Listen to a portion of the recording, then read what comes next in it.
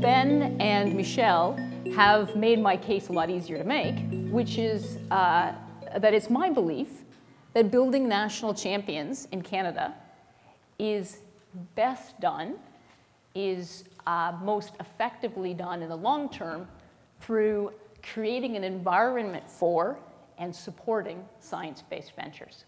And part of the reason why I believe that is because Canada, albeit we've had present company excluded, a very poor record on innovation in terms of getting uh, all the, these report card metrics, especially exporting to other countries uh, products and services that we develop here.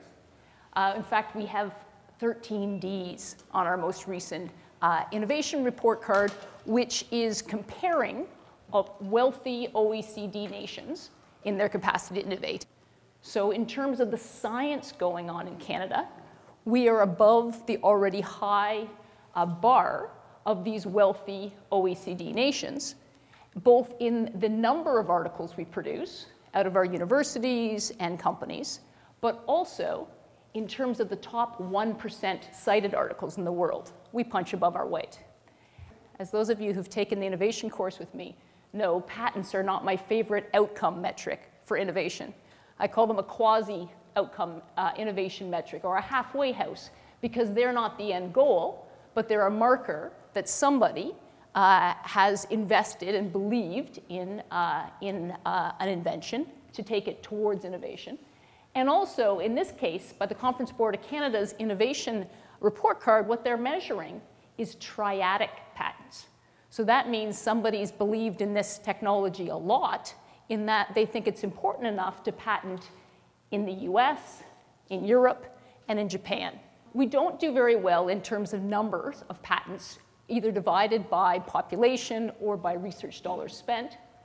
Um, we don't do well in overall amount of venture capital across the country. Now, uh, Vancouver is a little bit better than some other parts of the country, but we don't do well in terms of total amount or amount per deal. We're about half the value per deal as our neighbors to the, to the south. Um, we do do well in new firm density. And so that's formation of firms uh, within the last five years. And that is firms in any sector, can be in, in anything at all. It's just new firm startups. And Vancouver does particularly well here in uh, software and digital media, all these types of firms.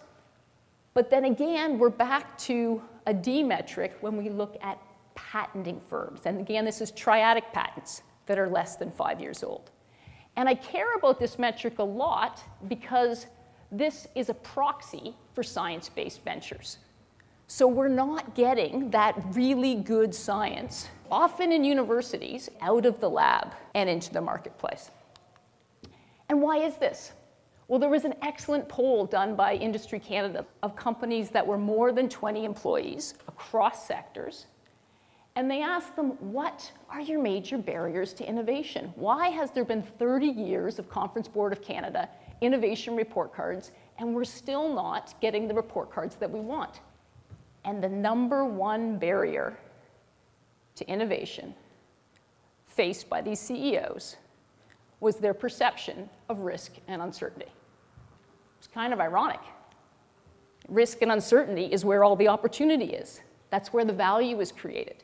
And so this is a culture, to Ben's point earlier, this is a culture in Canada that we need to work on changing. And this is especially problematic if you're in a science-based venture.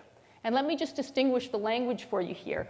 Um, you know, technology ventures, we all hear about the technology sector, which incorporates any venture that deals with technology. But science-based ventures are a special breed. They are a firm that is both trying to commercialize science or uh, make products and service out of science, but also contributing to the science world, to the science base. So they are publishing. They're usually patenting. But they're, they're, they're at that edge of science because the world is rapidly changing.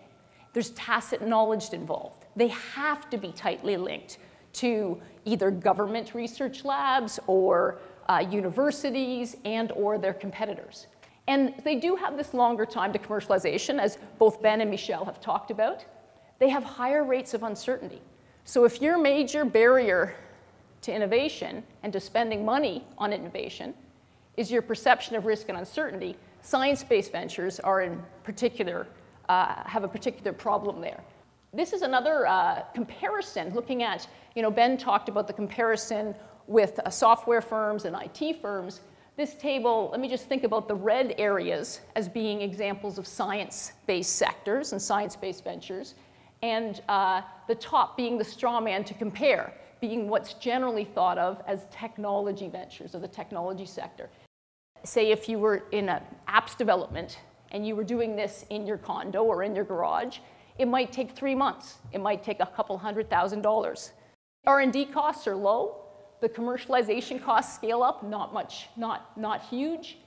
And although there is market uncertainty, the technology uncertainty is low. Now, a totally different beast when you look in the science-based sector. You notice in particular the technology uncertainty is very high.